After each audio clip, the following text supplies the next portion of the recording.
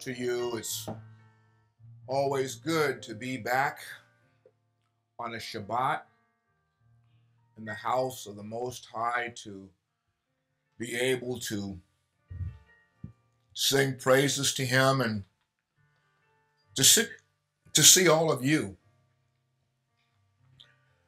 I look forward to each week being in your presence and being able to greet you and talk to you. And, you know, that's what Israel is all about. There's an interesting aspect of what we're preparing for, and that is to be back in the land with the Most High in the Messianic era.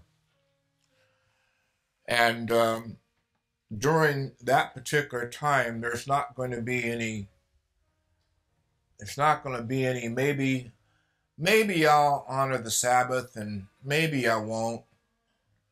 It's not going to be like that. And um, there is an interesting aspect of Shabbat, and that is that, and there's, there's an interesting aspect about the mitzvot that we're talking about and teaching And we have to, while we're trying to do our best to honor and walk in the teachings of the Most High in this exile, I think that uh, many of us take a lot of the things that the Most High has asked us to do for granted or we take them lightly. I'm going to open up today in the book of Jeremiah, who Jeremiah chapter number two. Didn't put it on the board, but we're going to read for a minute because it's important for us to understand and know exactly what the situation really is. Jeremiah, who chapter number two, verse four.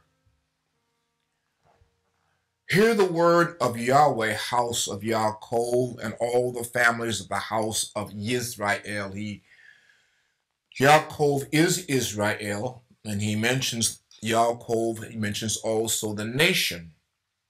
Here is what Yahweh says What did your ancestors find wrong with me to make them go so far away from me to make them go after nothings and become themselves nothings. What, what did they find wrong? What did they find wrong with me? That is a question that we ask today. And as I discussed it in last night's class, you have to wonder what was going on in the minds of our ancestors that caused them to want to be so much like the nations to which this is where we are today. They didn't ask, Where is Yahweh? And as I remember growing up in the Christian church, I don't remember anybody asking, Where is God? Where is where's God? They just took God for granted. And uh, so they didn't ask, Where is Yahweh who brought us out of the land of Mitzrayim, who led us through the desert, through a land of waste and ravines, through a land of drought, death, dark shadows, through a land where no one travels and where no one ever lived? The Most High took us through this, took our ancestors through there. Then he says, I brought you into a fertile land to enjoy its fruits and all its good things. In other words, I gave you good things. I gave you fertile land. I gave you good things. I made your life pleasant. We destroyed all of the enemies that were coming against you. You were victorious in battle and in war. I brought you to good things, but when you entered, you defiled my land and made my heritage loathsome. This is the part that I want to get to in verse number 8. The Kohanim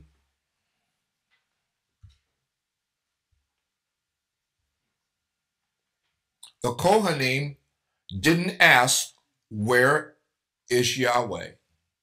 Those who deal with the Torah did not know me. Those who deal with the Torah did not know me. Now this is an interesting an interesting part of Jeremiah's words and the Most High's words to Jeremiah to speak to Israel.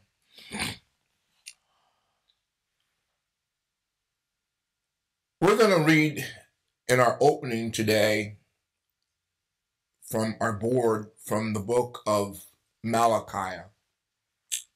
This particular reference here in verse number eight those who deal with Torah did not know me. The people shepherds rebelled against me. The prophets prophesied to Baal and went after things of no value.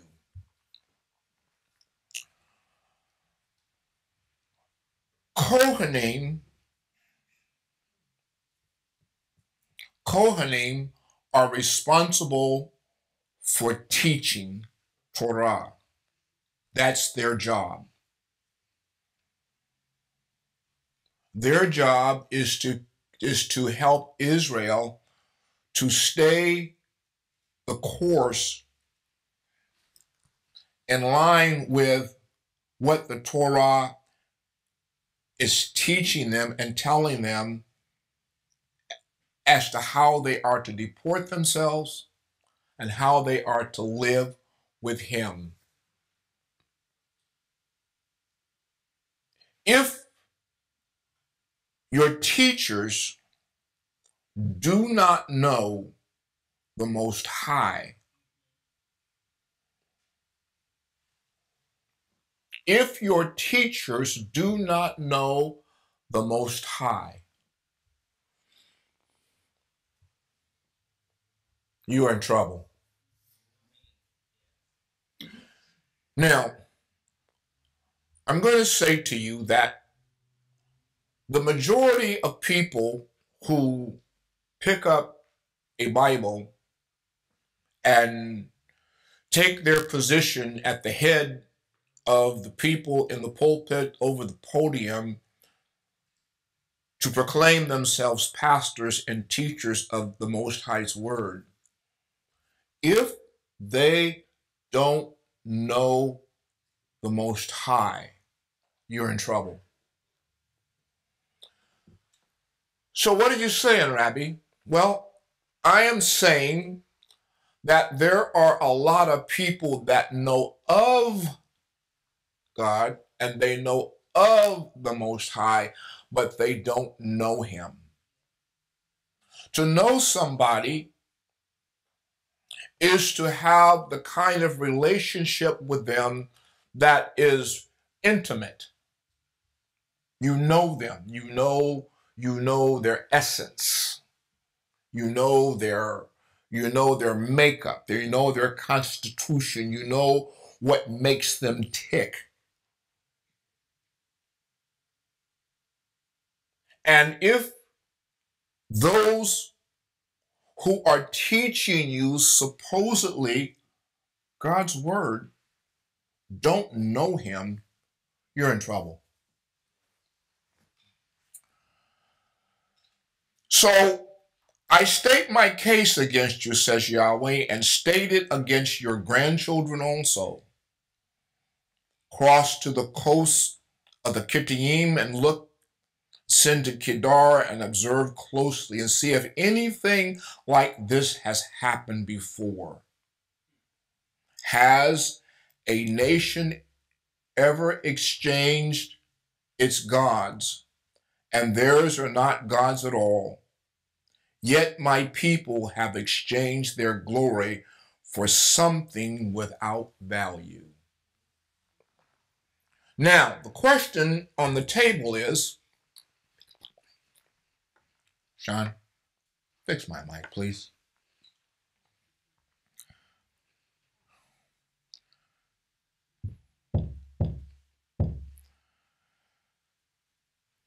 What nation of people that have a nation, have gods, what of them have ever abdicated their gods to be a part of or join another nation's gods? What, who, what, where? Where has that ever happened? He says it's never happened. Yet you, Israel, have abdicated me. Now, the task of the Kohanim is to teach. Let's go to Malachi chapter 2, verses 1 through 7, and let's see what it has to say. Now, Kohanim, this command is for you. Kohanim is teachers. So, individuals who have the responsibility of teaching in the mind of the Most High, His Word, are called Kohanim. The Most High has, has these offices. He has Levian, he, out of which come Kohanim, out, out of which call, come Haggadah Kohanim or high priests. These are the individuals who are responsible for holding Israel to the task of obedience in Torah. Now, Kohanim, this is the command is for you. If you won't listen and if you won't pay attention, honoring my name, says Yahweh Sabaoth, and please pay attention here. Honoring my name. The Most High's name is not God. I want you to honor my name. If you have been raised in a good family, and it really doesn't matter if even it was a bad family, the Most High says to us as a commandment honor your mothers and fathers.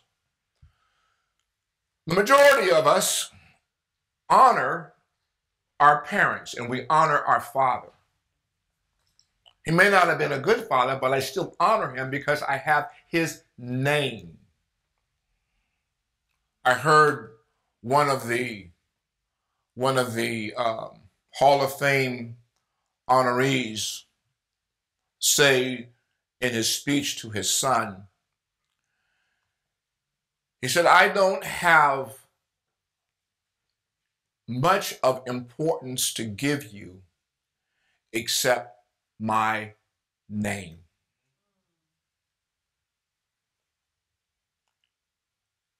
And through my life, I've tried to live a life by which you would honor my name.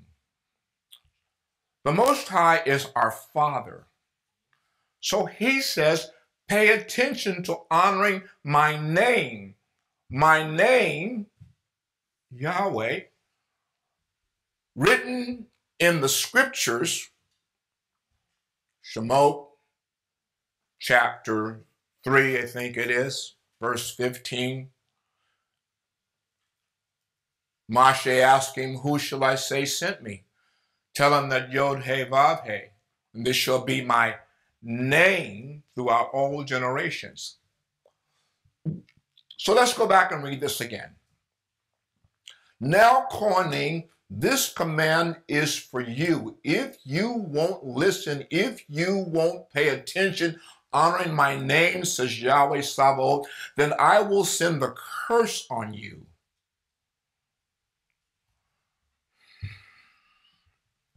What curse?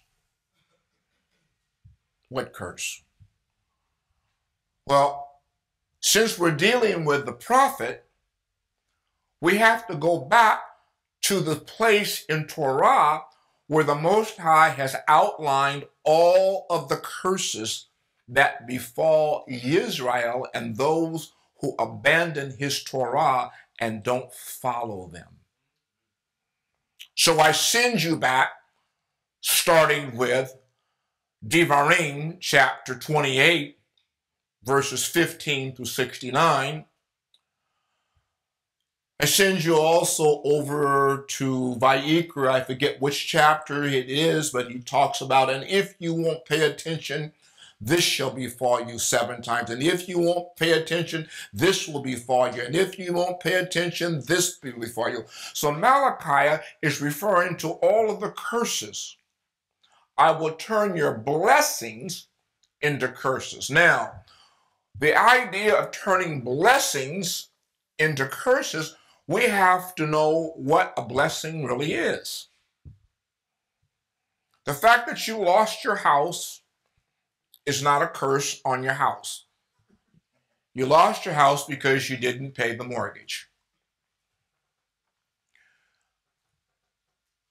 Losing your car is not a curse on the car. You lost the car because you didn't pay the note on the car.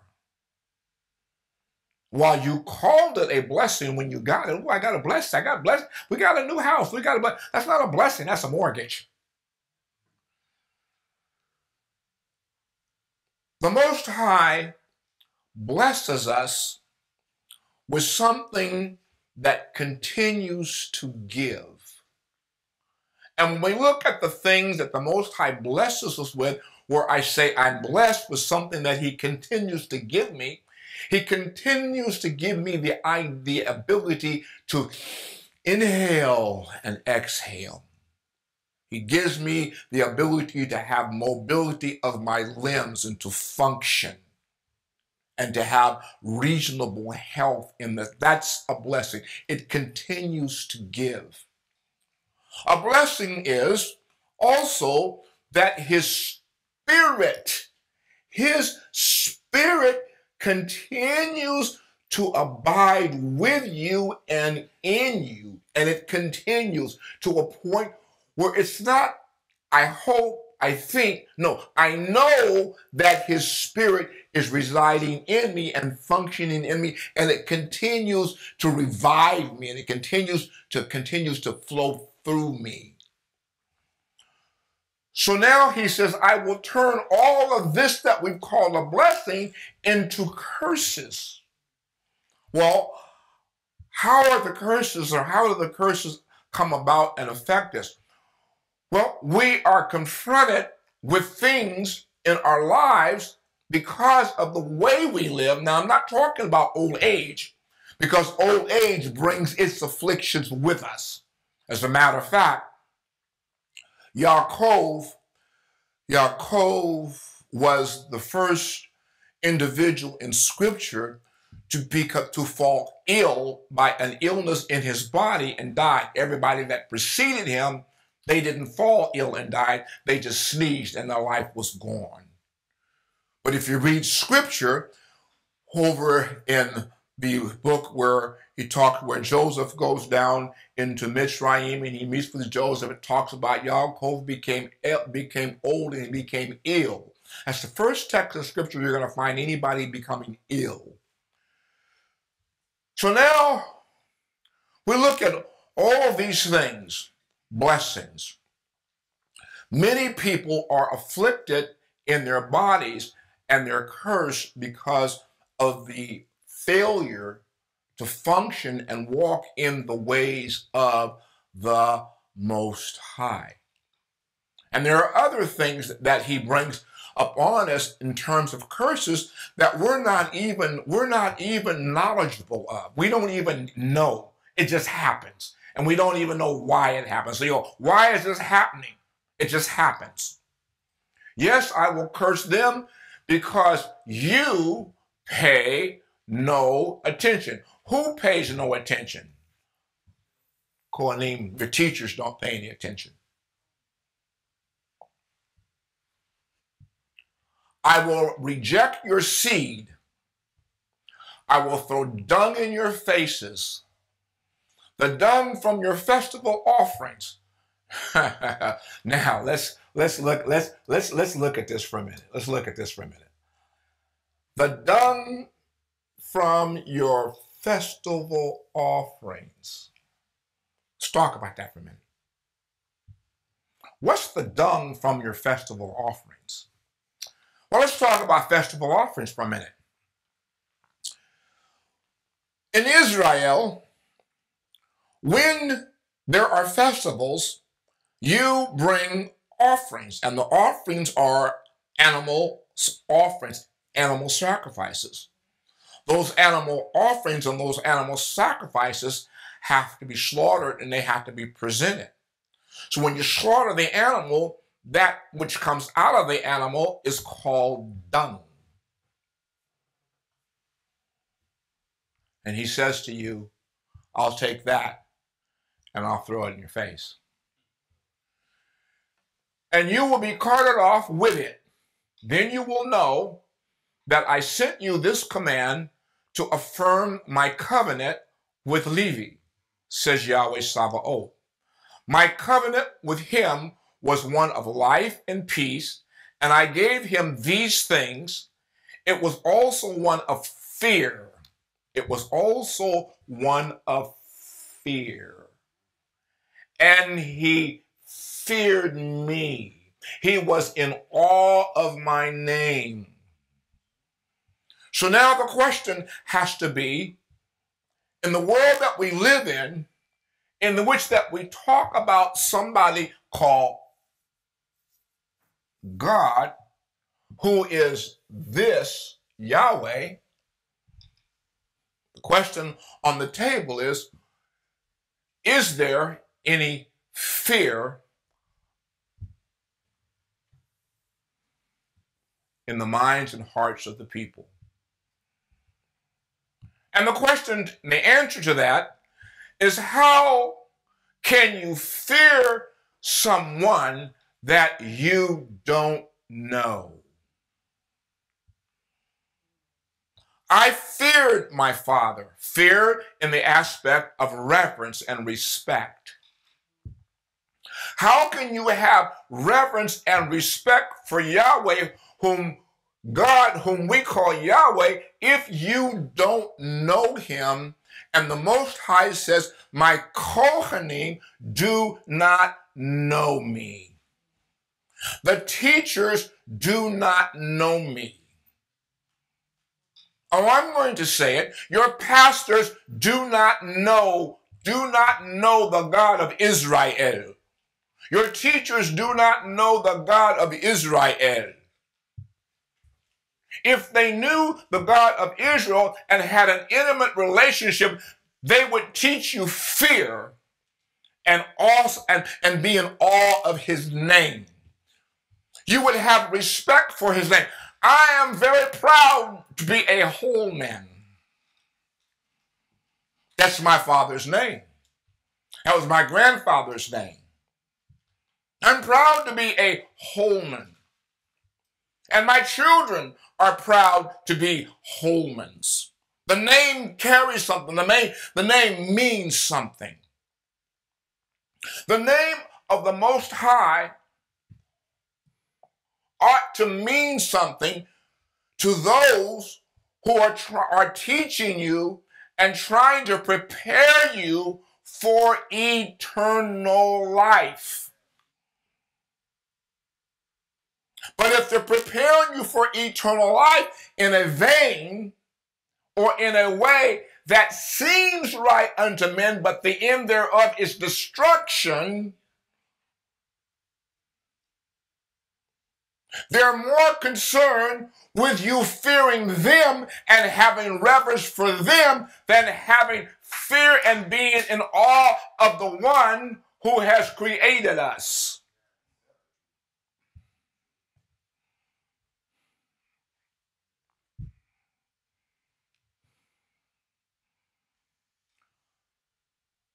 The true Torah is in his mouth. Whose mouth?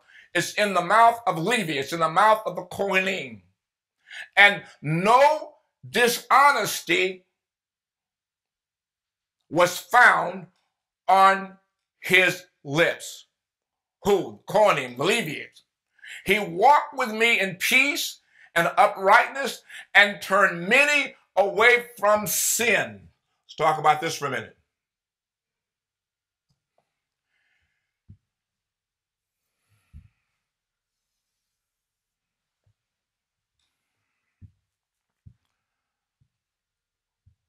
In order to turn people away from sin, you have to know what sin is. Sin is not you going to the nightclub. Sin is not you having a little drink of alcohol. Sin is not you dancing on the dance floor. That's not sin.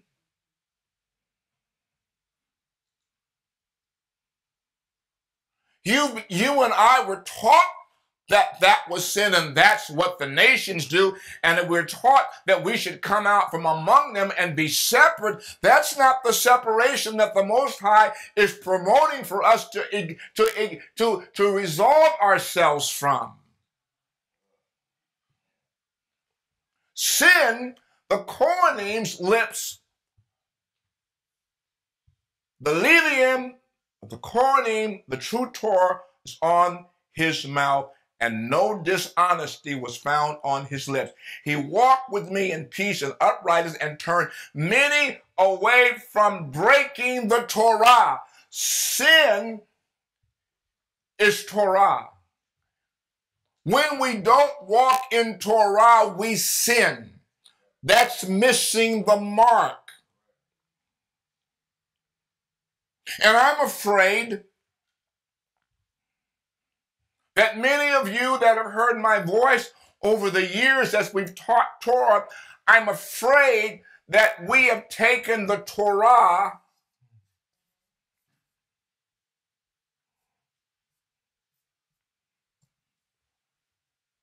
too lightly.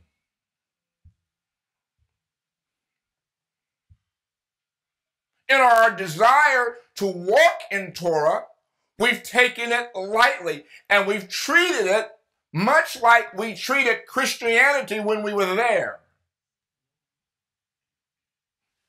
One of the things that is not going to happen if you're preparing to go to the land, there's one thing that's not going to happen.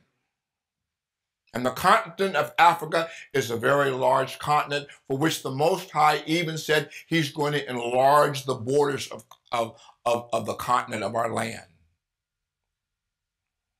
You and I are going to be displaced in the land from Jerusalem. We're all not going to live in Jerusalem. And in all the little places that the Most High is going to designate the land to be divided amongst the 12 sons of Israel and sparsed out, there are not going to be little factions of Baptist Israel, COGIC Israel, Episcopalian Israel, Catholic Israel, and all this denominational mess that we're living in today. In the land there, he said, the name will be one, the language will be one, and Torah will be taught. And if you don't walk in Torah, I don't care what faction of the of the continent you live in, you will die. If you don't honor the, the, the, the, the, commandments of the Most High, you will die.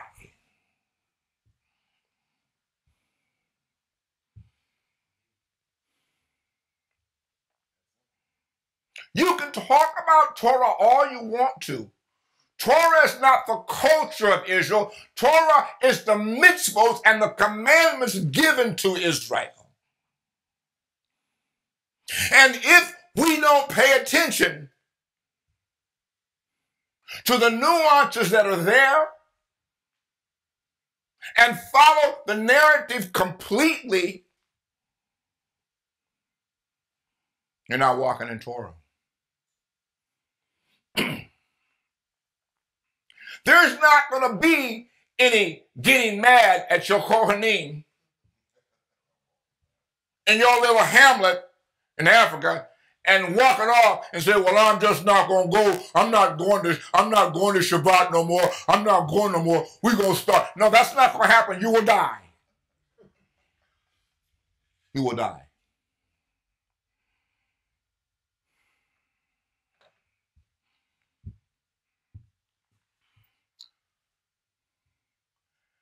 A Kohanim's lips should safeguard knowledge, and the people should seek Torah from his mouth because he is the messenger of Yahweh.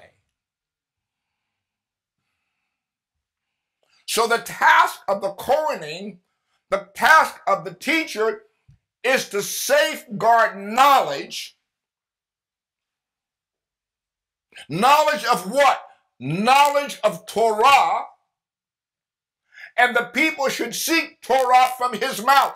You should be seeking Torah from my mouth. You should be seeking Torah from Appleton, from Corning Appleton's mouth. You should be seeking Torah from Brother Yochanan's mouth. They are, we are the Corning in this house. You should be seeking Torah from our mouth. It is our job to safeguard knowledge and to teach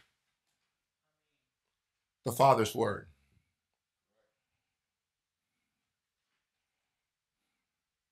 He didn't say that you're supposed to seek Torah from your own mouth.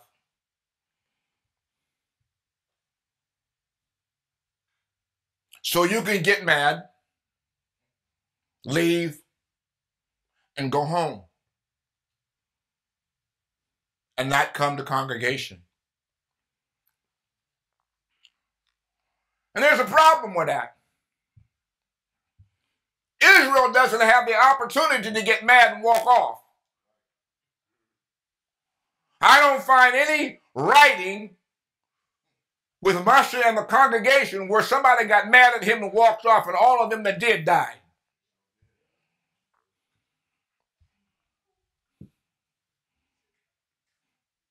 If we're going to walk in Torah, then let's walk in Torah. If you're going to call yourself a Hebrew, then be a Hebrew. Here's the issue and I'm not begging anybody to do anything. That's not my job. My job is to safeguard knowledge. That's my job. My job is to be a messenger for Yahweh. That's my job. But if you go to Vayikra, chapter 23, and you look and read the commandment that's there in relationship to honoring the Shabbat, the Sabbath, the Torah commandment says that on the Shabbat you shall have a holy convocation. It didn't say you shall stay home. It said you shall have a holy convocation. And if you're not having a holy convocation and you're able to do that, you are breaking Torah, and that, my sisters and brothers, is sin.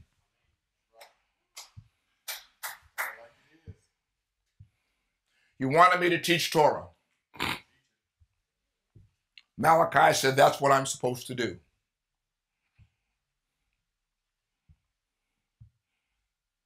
I'm not trying to coerce you to fill the house. That's not my job.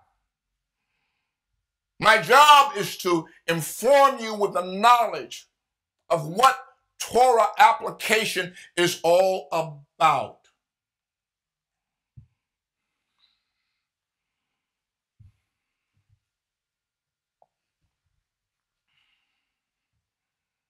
Mitzvah. Shemot chapter 23, verses 1 through 2. You are not to repeat false rumors. Do not join hands with the wicked by offering perjury, falsifying an affirmation to tell the truth. That's what perjury is.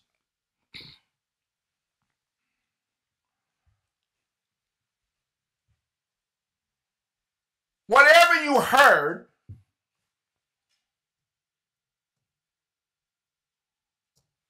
whatever you heard, if you can't validate what you heard, it's a false rumor. And it is also called gossip. And it is also referred to in Scripture as leprosy. It is also the requirement that a person that has that must be separated from the community and set outside the community of Israel until they have been purified. Don't follow the crowd when it does what is wrong. Do not allow the and don't allow the popular view to sway you into offering testimony for any cause if the effort will be to pervert justice. Don't do that.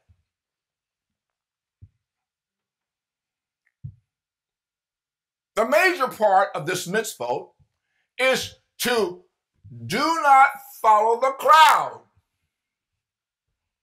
If the crowd wants to go in an opposite direction of Torah, you're not to follow them.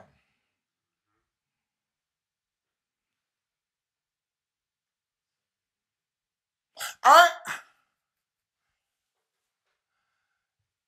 if in 7, 8, 9, 10, 11, 12, 13, 14, 15, 16, 17, 18, 19, 20, 21, 22, in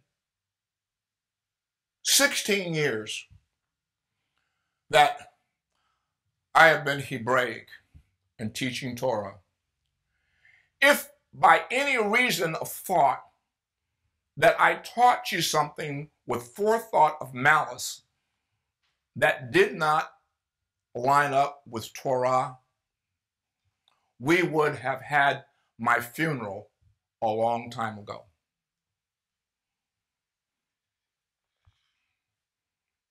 That's how much I fear.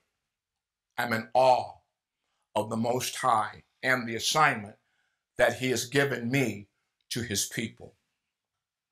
If I would have taught you anything that violated the principles of Torah with malice of forethought, we would have had my funeral already and somebody else would be leading leading the congregation. But I haven't done that. I've taught you Torah to the best of my knowledge and ability, and the Most High has honored that. So, first thing we don't do is we don't follow the crowd when it does what is wrong. Well, what's wrong? Well, let's think about it for a minute. If anything within the community of First Tabernacle Fellowship, and I can only speak to us, has happened that was wrong, and you adhered to what was wrong and followed it, you are in, you have broken a commandment of the Most High. If someone told you that you shouldn't go and assemble with that congregation for whatever reason when the congregation itself did not break faith with the Most High, that is wrong. And it's wicked. We're talking application here. And I'm going to tell you right now that will never happen in the land. If that happens in the land, you will be dead. Cut off. Done. Finished. So, what you should do if you're guilty of this, you should get up off of your chair, open your mouth, run around your kitchen, run around your living room, shout and make some noise, and dance and thank the Most High for grace. However, that does not mean that in some way or somewhere in your lifespan, in your in your negligence, that curses will not befall you. Things will happen and you won't even know why.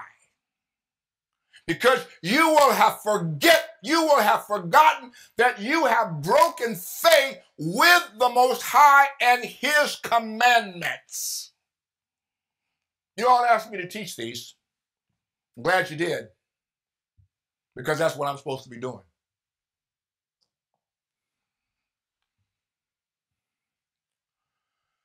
Shemot 30, 31 to 30. The prohibition to anoint a person's body with anointing oil. Now, anointing oil is made up of certain ingredients that the Most High has written in Scripture. And in the Christian church, we have this thing called anointing oil. And everybody in my day that I was there within it, we brought our bottle of olive oil to the pastor who prayed over it, made an anointing. We took it home, and when we got sick or whatever, we'd anoint ourselves with a, with a little oil. And anytime we fasted, we had to anoint ourselves with the oil. I don't see any verbiage in Scripture where when the Most High called to fast, he asked us to anoint our heads with, with, with, with, oil. So that is a passed down behavior from somewhere that it started that does not line up with Scripture. Tell the people of Israel this is to be a holy anointing now. Now we have to go back up. You have to go back up in this in this in this in this in this book here in this writing and see what the what the constitution or what the ingredients of anointing oil are. This is to be holy anointing oil. For me, for who? For the Most High. It is not to be used for anointing a person's body. So if the anointing oil that the Most High prescribed is not to be used for anointing a body, where did we get the idea that olive oil was supposed to be used to anoint the body? And what purpose does it serve?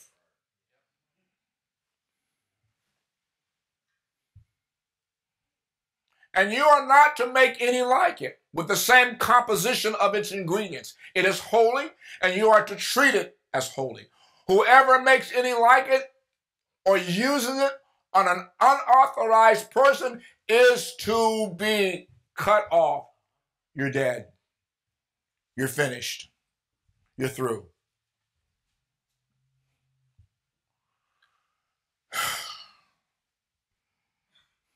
My Kohanim Brother Appleton.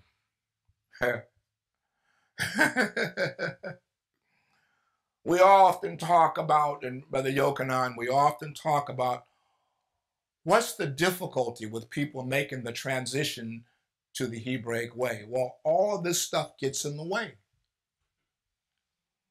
All of this gets in the way. This, this is what we were taught. This is all we know. Now you're telling me that we're not. I'm not telling you that. Script, I'm just reading. And I'm asking a question. If the Most High says that a anointing, you are not. Nah, come on, come on, come on, come on, my pen. Come on, come on, come on, come on. If he says it's not to be used for anointing a person's body, What's not supposed to? Anointing oil. But you call olive oil anointing oil, then you're using it for the same purpose. For what? Not supposed to happen.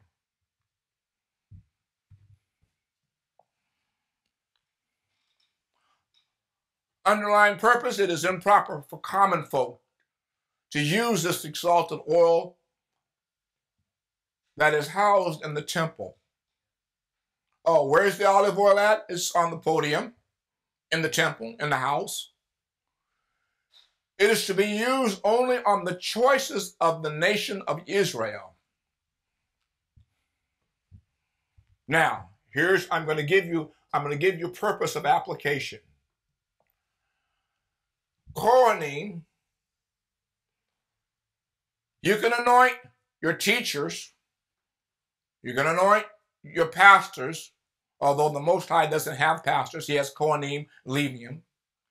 So the Kohanim can be anointed, the king can be anointed, and the holy, ooh, I just spoke the, the holy article, the holy articles can be anointed. By the common meaning, deprived of this oil, it will remain most precious in our eyes. Prohibition to replicate the anointing oil. You are not to make any like it with the same composition of ingredients. It is holy and you are to treat it as holy. Whoever makes any of it and uses it on any unauthorized person, you will be cut off. Cut off means you will be dead.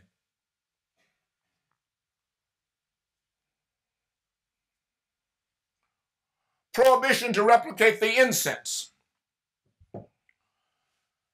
Yahweh said to Moshe, Take aromatic plant substances, balsam, resin, sweet onycha, root, bitter balsam, gum, these spices along with frankincense, all in equal quantities, and make incense. Blend and perfume as would an expert perfume maker, salted, pure, and holy. You are to grind up some of it very finely and put it in front of the testimony in the tent of meeting where I will meet with you, you are to regard it as especially holy. You are not to make for your own use any incense like it. With the same composition of ingredients, you are to treat it as holy for Yahweh. Whoever makes it, makes up any like it, and uses it as perfume is to be cut off from his people. So now, do you think, do you think that there might be some perfumers that make perfume out there that have found this formula and have combined these substances and made perfume out of them? Do you think maybe they've, they've seen that? And maybe you've bought it and you didn't know what the composition of it was? Well, I didn't know. Well, once again, let me let me let me be forthright and upfront with you. These mitzvot that I'm reading to you, giving explanation to you of, they are for Hebrew Israel who have come to the knowledge of truth. They are not for Hebrew Israel who has not come to the knowledge of truth. But for Hebrew Israel who has come to the knowledge of truth, these commandments apply to us. And to those of you who want to join with Hebrew Israel, then you would have to make application of the teachings that we're sharing with you concerning the knowledge and application of Torah.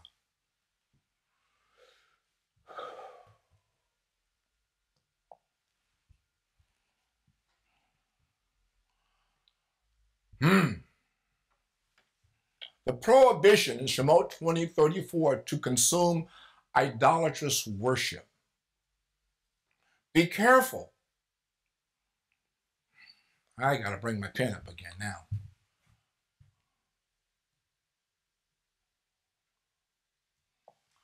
Be careful not to make a covenant with the people not to make a covenant with people living in the land where you are going. Now, while it's true that Israel was going to Canaan, the land that flowed with milk and honey that the Most High had promised them, we are in this exile. And we have gone to a land and we're living with people in the land where we have come to live. Be careful not to make a covenant with them so that they won't become a snare within your own borders. Now, unfortunately, we can't demolish the things that cause them to worship. Okay, we can't do that. But whatever they're worshiping, we are not to bow down to any other God. Since Yahweh, whose name, his very name is jealous, is jealous El. We're not to bow down. So now let's talk about worship for a minute. We talked about this the other day in our podcast. What constitutes worship?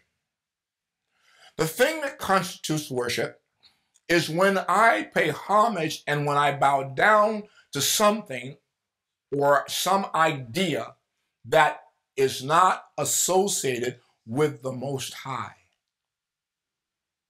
Let me make this very clear to you. Because we get on this place, well, of trying to define idolatry and what idolatry is, and we know what it is. And there are certain times of the year that show up that are very, that we're very in line with. That Easter we don't worship, it's idolatrous. Christmas we don't worship, it's idolatrous. But Easter and Christmas and Thanksgiving are times of family gatherings. The family gathers. It is not my task or my job to push my belief onto my family if they're not believers. Not my job. Not what I'm supposed to do. It's my job to make known, however, if I go, and I've told you before, and there's probably a lot of you that will, will not agree with me, I'm not missing a good meal.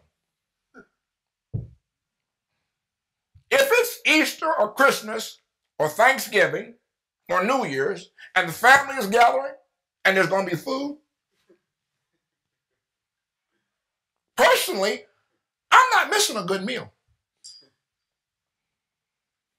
I'm not missing collard greens, candied yams, mac and cheese, fried chicken, cornbread. I'm not missing that because the family is gathering on a day that is idolatrous. I'm not going there to bow down nor to agree with the idolatrous reason for the gathering. That's not why I'm going. My soul, my spirit is not worshiping that. I am going to eat a meal and fellowship with my family. Because in fellowshipping with my family, I am still walking out Torah. That's right. That's right. Because my family knows that I don't eat pork. They know that I don't eat fish without fins and scales. They know I'm not going to eat no gumbo. And I'm walking out Torah in their presence.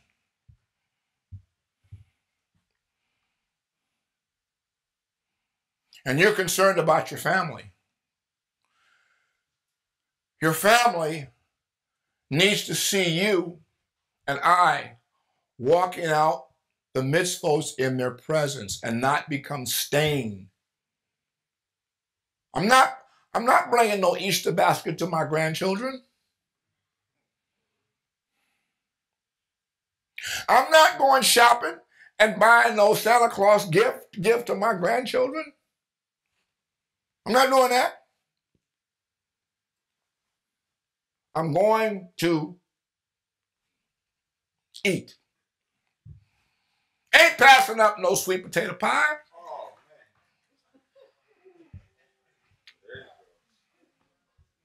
Ain't passing up no Parker House rolls that my mama done made. Ain't doing that. Just because, well, it's Easter, I'm not going to do my family's house because they celebrate. They are celebrating Easter. I'm not.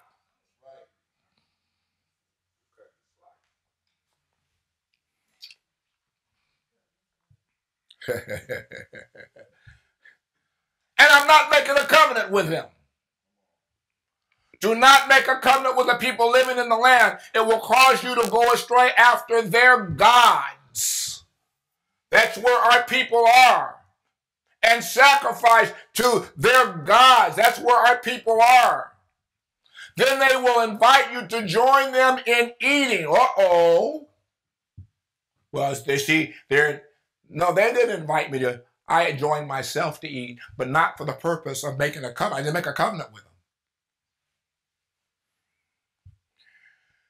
Ah. Balaam said this. You will take their daughters as wives for your sons, and the daughters will prostitute themselves to their own gods and make your sons do the same. So the idea is not to join in idolatrous worship. I'm not bowing down. I'm not making a covenant with anybody. I'm not violating the principles of the covenant that I've made with the Most High.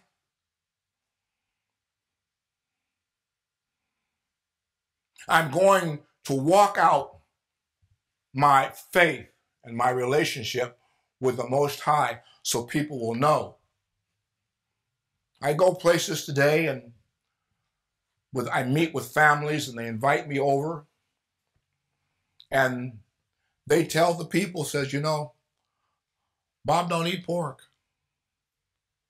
Bob don't eat shrimp. What do they do for me? They cook something that I can eat. They honor, they honor, they honor where I am. Even amongst my family. My family honors the fact that they know that I don't eat outside the parameters of Torah.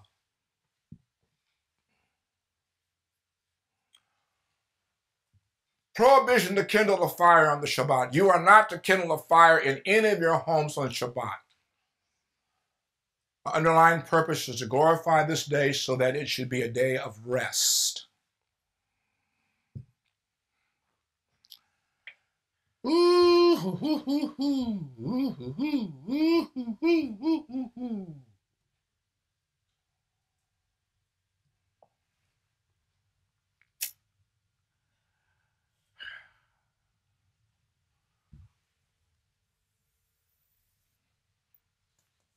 does that mean? I have, over the course of being a Torah teacher, I have explained this particular mitzvah many ways. And I have to apologize to you because, in some aspects, I have attempted to skate it by spiritualizing it. And I tried to spiritualize it on the other side of the book, which says, What a violent thing the tongue is, that we should, a tongue that kindles a fire.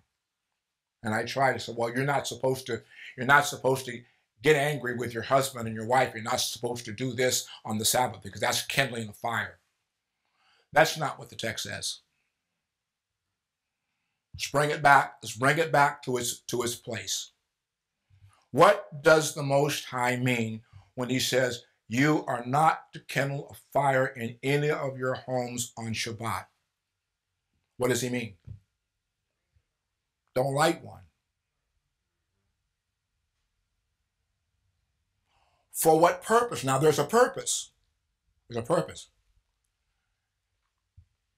He doesn't say that you're not supposed to kindle a fire for the purpose of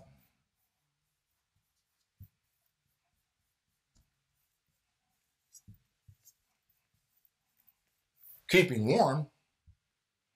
He doesn't expect you to be cold. It's not what it's about. It's about cooking.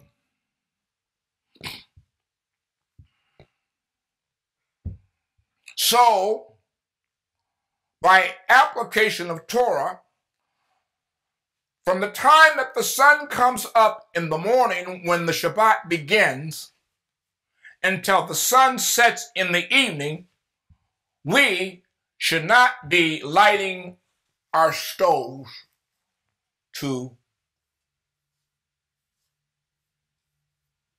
cook a meal that wasn't previously already made. Because the object of Sabbath is not to put into existence something that doesn't already exist. If I'm lighting a fire to cook a meal, then that meal is a new a new item. It's a new it's a new it's a new it's a new I, i'm creating something new. And we're not supposed to create things on the shabbat. I know. Skating. I skated all around it. So one day the Most High asked me a question. He says, What does that mean?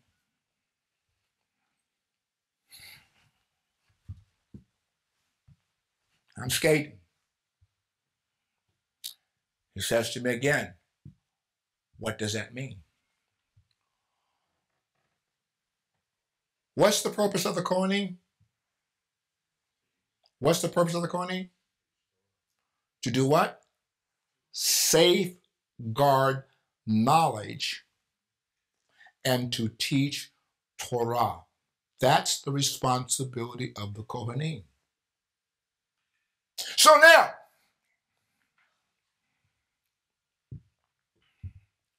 if I have cooked something prior to Shabbat that requires warming up. It's not creating, it's not new, not fresh. All I'm doing is warming it up.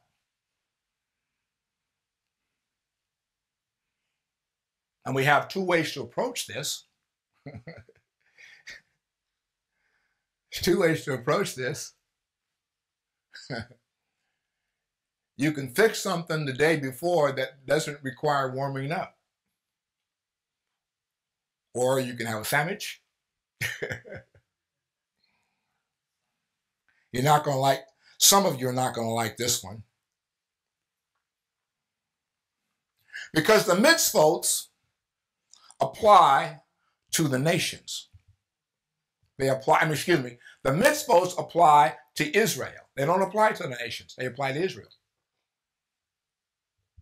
And Nehemiah is not a mitzvah that has been presented to Israel out of the mouth of the Most High. So we can fix this. I can go in coast and buy me some chicken. That's hot.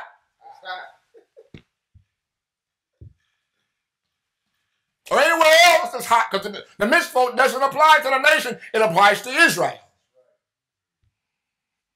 So we can satisfy this particular mitzvah. Y'all following me here? I mean, we're just not supposed to. The issue is, is, is, is the, the idea is, whoops. Oh, oh, back, back, back.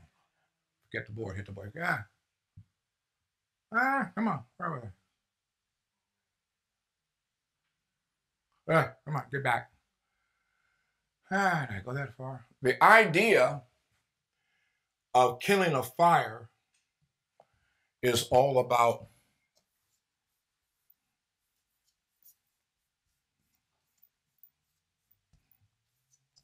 creating. It's all about creating, making something that wasn't already made. Okay?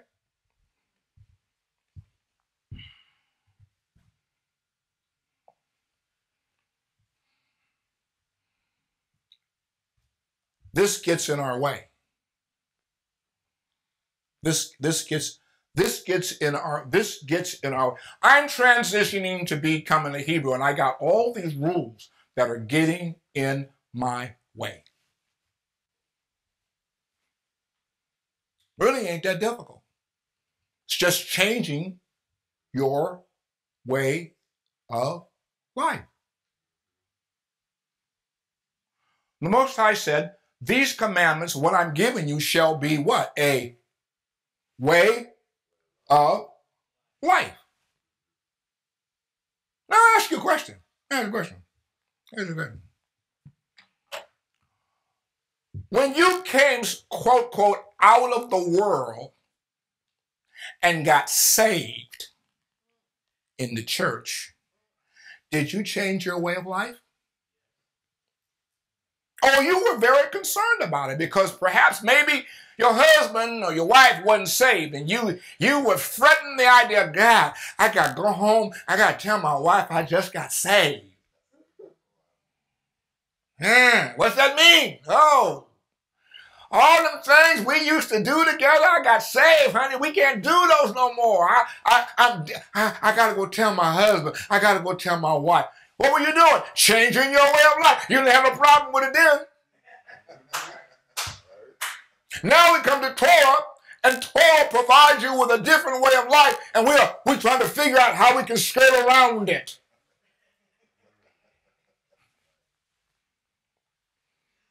Well, I can't do that.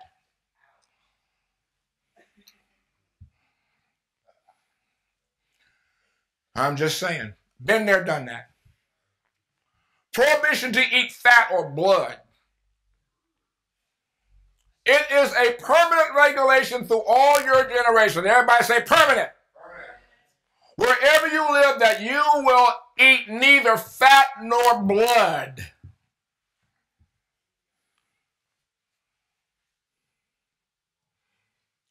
I declare,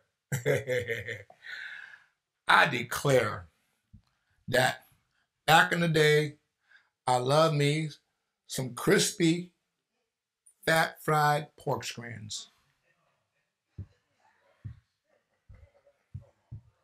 Oh yeah. Oh yeah.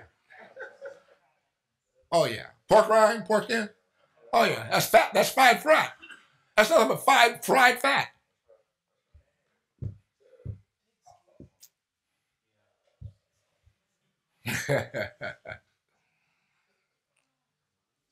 Fat is suitable for burning for fuel. They are thick and hard to digest. Fat's not even good for your, for your digestive system. And one of the other things that's good, was good, is when you roast a good piece of meat and it gets all seasoned up Oh, that fat with that seasoning on sure tastes good.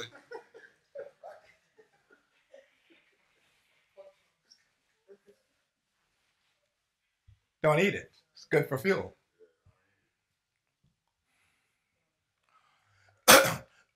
While the soul is in the blood, the effect of eating blood, man assimilates within himself the animal's life force therefore diluting the spiritual quality of his own soul. Here's the problem with this. Here's the problem with this. The problem with this is that you don't have the sense of feeling this taking place. But it's happening within the constitution of your body and within the constitution of your soul. And if the Most High said it's diluting the spiritual quality of your soul, it's diluting the spiritual quality of your soul, even if it's a little bit at a time. It's harming you.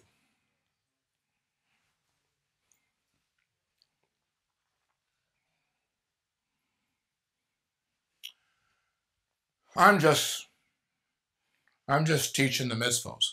Well, that's your commentary. That's your interpretation. No, no, no. I tell you what you do. Ask a dietitian if if fat is a good thing to consume into your body. Ask them that. Ask them if blood is a good thing to consume into your body, other than by virtue of a transfusion. See what they say. One more and we're done for today.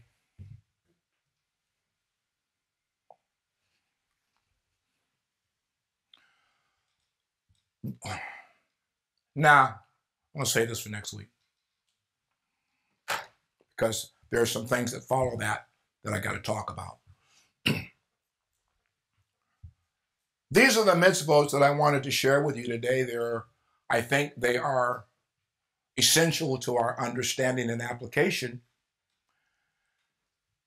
The task that I have before me each week that I come to teach you is to safeguard knowledge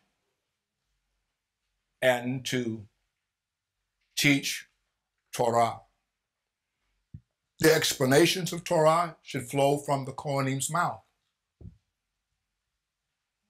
Some things that I've said today, you may not agree with personally.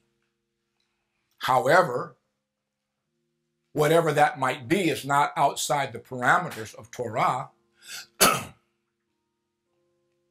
we'll talk about we'll talk about your conscience next week, next time I, I teach, and the offerings that have to be made for things that fall within the parameters of the four offerings.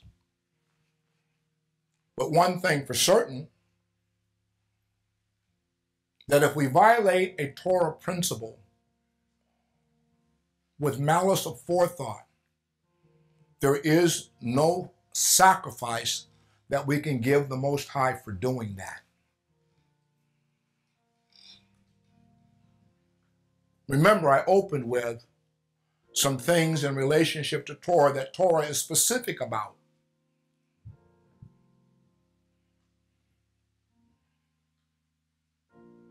And I don't know if in this day and time that we live in, whether or not we have to redefine. Did I say redefine? We have to redefine what the word convocation means. I don't know. But I'm certainly going to look at it going to study it because one of the things I can't do is I can't change the narrative that the Most High has put on one of His commandments. I can't change that. I have to do the best job that I can to explain it and help us to be obedient to it. Thank you so much for your time today pray that what I have said has been beneficial to your thought process. And all thy getting, get an understanding. Come, let us reason together. Yevarekaka, Yahweh beishmereka, Ya'er, Yahweh panai valeka. Vekanuka, Yasa Yahweh Panai Valeka by Yasham Shalom. May Yahweh bless each and every one of you. May he make his face to shine upon you and show you his favor.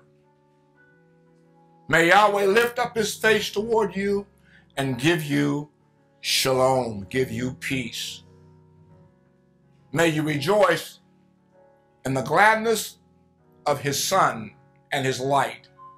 Sun meaning that which comes from above that shines down on you. And may you be perfected in his love. Until next time, shalom.